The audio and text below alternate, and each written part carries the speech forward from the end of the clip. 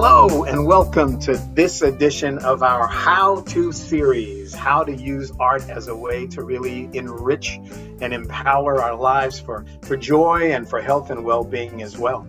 Um, you know, over our Vet Chat series here the last couple of months, we've had the opportunity to bring in guests to share with us their various modalities. And we were really, really fortunate to have our, our next presenter, Miss Jennifer Harman, who is the founder and president of the Storytellers Alliance and a member of just about everything that we've done with Vet Art Span uh, here in the Tampa Bay area and as a part of our cre- National Creative Forces Initiative. She dances, she writes, she's an inspiration, she's a fantastic mom, she teaches at universities, and her key is to share with us the importance of writing and how it can be fun. So, Jennifer, welcome to our How To series. And my question to you is how can writing be a joyful and enriching experience that any one of us can do? Well, thanks for having me, Fred. Um, yeah, sometimes, you know, I do teach writing in a college environment. So, of course, when I mention, oh, you're going to have to write a paper, um, first thing that comes to mind for my students is great, like that sense of dread. Um, but whether I'm working with veterans or I'm working with my students or just doing it for myself, um, I found ways to make writing more of a of a creative and recreational activity um, that actually helps, at least me, it helps with mental health. Um, you know, and I don't know if you are aware of this, Fred, but there are many benefits, evidence-based benefits to writing. Um, one of which is fewer doctor visits, um, improved physical health, and it lowers your risk of mental health stressors. Um, so it seems it's interesting when I learned about these these benefits. I had already been experiencing those benefits without realizing that. Um, so to make it fun, though, to answer your question, um, I usually start out by recommending um, a stream of consciousness writing. It's the easiest thing to do. You literally write exactly what you're thinking. It doesn't matter what it is you're you're writing gosh it's really cold in this room. The light is really bugging my eyes right now. Oh i have hair in my face. Anything that comes to mind you just start writing. And eventually maybe you set a timer for 3 to 5 minutes. Eventually it'll start evolving into something more than just this random stream of consciousness. It'll take form. Um, so that's one way to kind of get the juices flowing. Um, other ways are you know there's there are different types of writing. Of course there's writing for business and for school and for professional reasons but when you're doing it for yourself um, there are different ways to journal.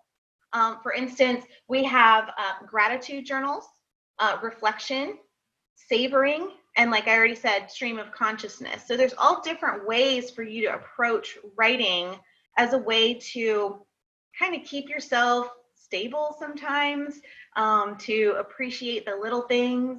Um, and yeah, I mean, there are ways to make it fun though, even if it seems daunting at first. Mm, that's fantastic. That's fantastic. I know uh, oftentimes when I um, uh, would endeavor to write, um, sometimes I'd get stuck. Is there a, is there a, how do you get how do you get unstuck? how do you get that feeling of moving beyond? I think maybe your stream of consciousness idea is really, really great because I think a lot of times people feel like, well, I have to have a purpose. I've got to write something specific. But really, what's the what's the easy way or the fun way to get unstuck? So if we're having a hard time starting and we're staring at a blank page, okay, definitely just get if you're typing, get your fingers moving. Doesn't matter what you're writing it could be stream stream of consciousness, it could be random keystrokes, but once you start getting your fingers warmed up and working, that's going to connect to what's going on in your brain. And suddenly it's like, wait, what wait a minute, I want to start writing something here. So that's one way to just kind of jump right in, get the engine revved up and start moving things along. Um, another way is if you have been writing and let's say you reach a stuck point to where you're not really sure what to write anymore um, it's getting maybe you're writing about something emotional. It's getting a little too heavy. Walk away. Get up. Go get some fresh air. Get a change of scenery. Um, because again like with my college students they get stuck in the middle of their writing because they're so focused on the end goal that they miss the whole process. And sometimes part of that process is giving your brain an opportunity to breathe and just have a moment of relaxation. Um, I know for me, my creative juices cannot flow if I'm too much in the zone or if I'm stressed out or if I have too many things going on at one time, if I'm pressed for time.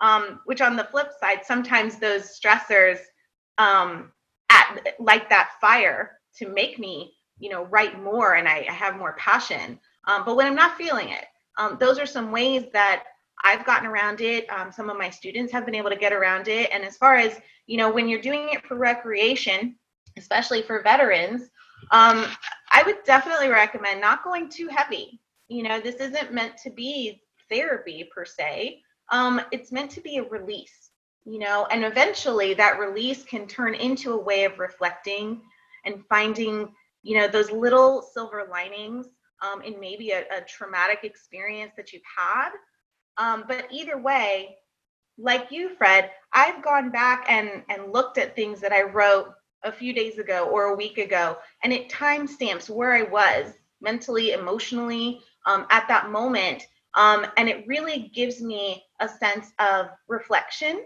to where I can see one, I can see how far I've come from there. Has my my mood and mindset changed uh, for the better, for the worse? Um, but what has evolved since that point in time? And maybe I can grow from there and see it on paper, see my own personal growth.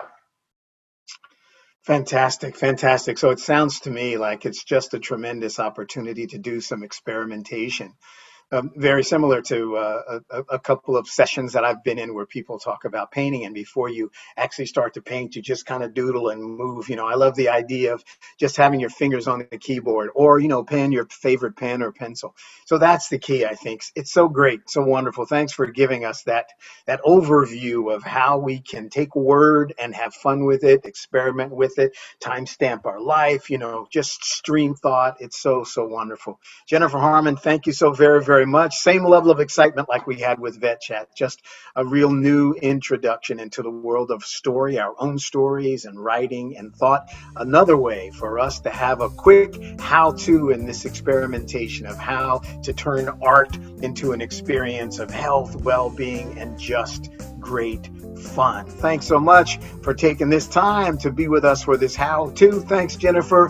Thanks to you all. Until next time, be safe, take care, and write.